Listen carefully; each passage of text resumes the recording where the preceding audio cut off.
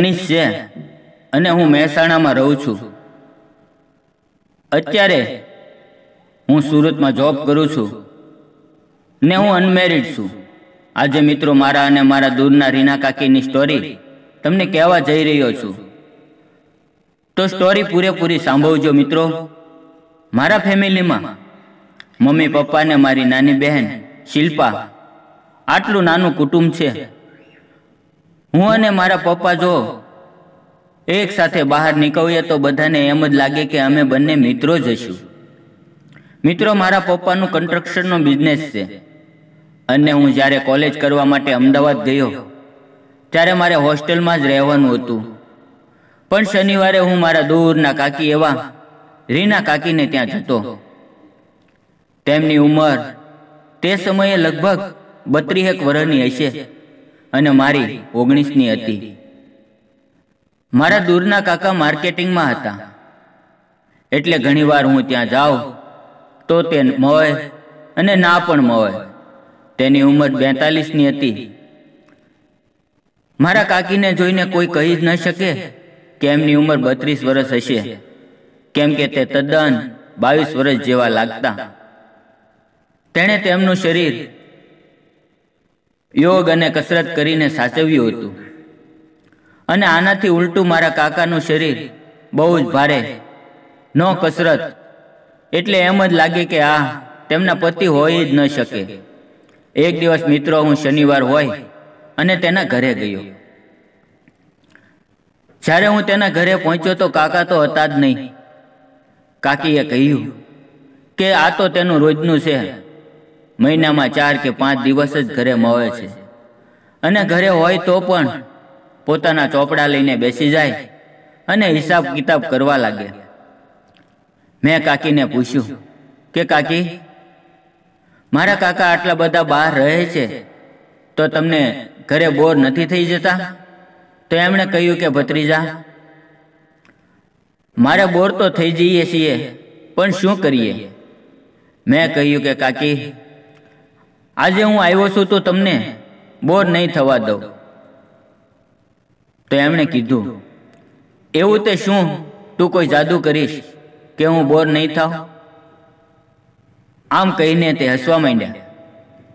દોસ્તો, તમને શું વાત કરું?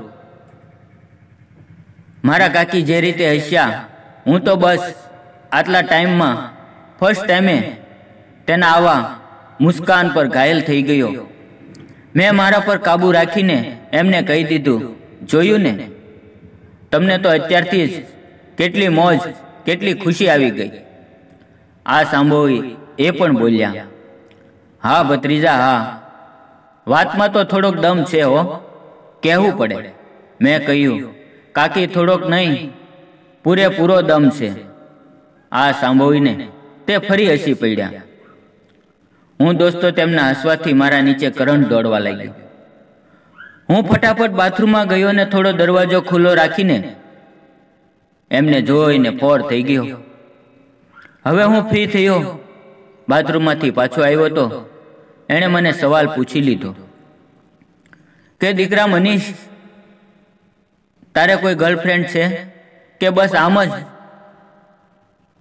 હું સાફ સાફ સમજી રહ્યો હતો.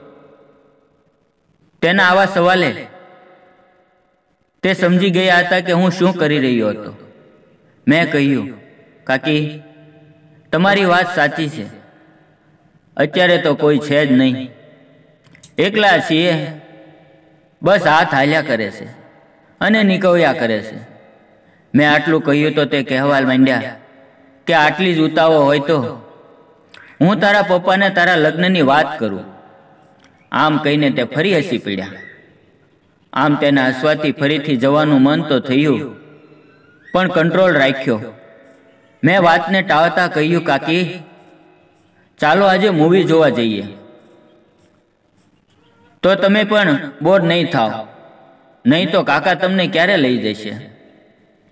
તેણે કહ્યું, ઓહો, એમ છે? તને મારી આટલી ચિંતા છે? આ સાંભળીને હું કાબુ ગુમાવવાની અણી પર હતો. પણ ફરીથી તમારા મદનુભાઈએ પોતાની ઉપર કંટ્રોલ રાખ્યો અને મેં કહ્યું, તો ચાલો, આજે જમવાનું પણ બહાર હોટલમાં જમી લઈશું. તેણે કહ્યું, ફક્ત પંદર મિનિટ રાહ જો. હું તૈયાર થઈને આવું છું. પછી આપણે નીકળીએ. મેં કહ્યું કાકી મને ભત્રીજો ભત્રીજો ના કરો. ઓનલી મનીષ કહો. તો કાકી બોલ્યા, okay I M no problem ભત્રીજા, આમ કાકી મારી ફિરકી લઈ રહ્યા હતા. તે હવે બેડરૂમમાં પોતાના રૂમમાં તૈયાર થવા માટે ગયા. હું સાઈડની નજર મારી રહ્યો હતો. તો પણ મને નજારો, નજરે ન આવ્યો. હવે થોડી વારમાં કાકી આવ્યા હું તમને શું વાત કરું મિત્રો? મેં તો એવું વિચાર્યું કે કાકીને હાલ જ પકડી દઉં ને ઉપાડી લઈ જાઉં. પણ ફરીથી મજનુભાઈએ કંટ્રોલ કર્યો.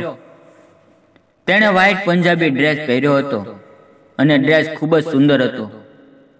તેમાંથી તેના શરીરના વાહકો દર્શન આપી રહ્યા હતા અને અમે ઘરેથી બાઇક પર નીકળી ગયા. પહેલાં તો અમે હોટલમાં જમવા માટે ગયા. હોટલમાં જીમ્યા પછી સીધા થિયેટરમાં ટિકિટ લઈને ફિલ્મ જોવા માટે ગયા. થિયેટરમાં દોસ્તો ખાલી જ હતું. અમને નસીબથી એક ખૂણામાં સીટ મળી ગઈ. મારા તો મનમાં લાડવા ફૂટવા માંડ્યા કે શું નસીબ છે મનીષ્યા આજે તો બે હાથમાં લાડુ જ છે. આટલું વિચારતો હતો ને મૂવી ચાલુ થઈ ગઈ.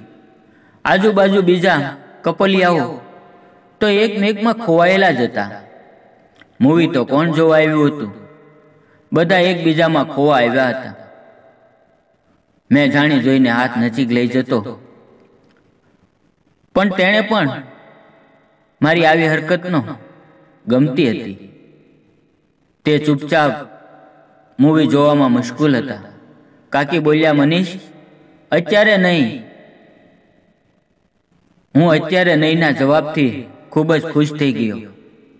ને થોડી જ વારમાં મૂવીમાં ધી એન્ડનું પોસ્ટર આવી ગયું ને અમે બાઇક પર નીકળી ગયા. હું પણ આજે મૂડમાં હતો.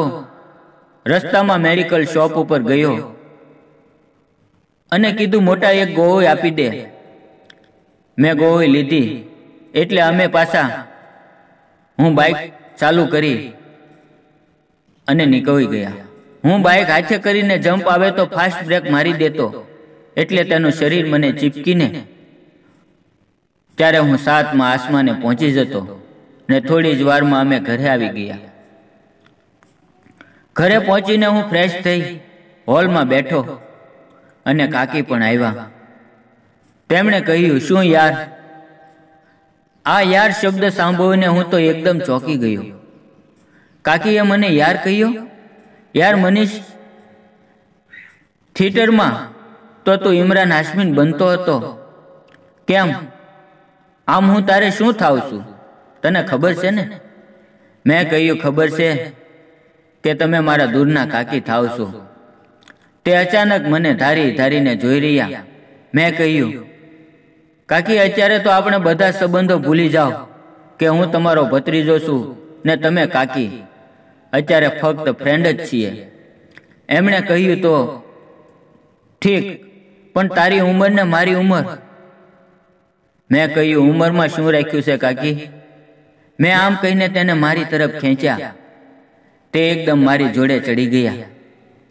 ત્રીસ મિનિટ ચાલીને હું હવે નીચે ઉતરી ગયો હતો. ને કાકીએ કીધું કે, મનીષ, તું હવે હોસ્ટેલમાં ના રહેતો. દીકરા અહીંયા જ રહે.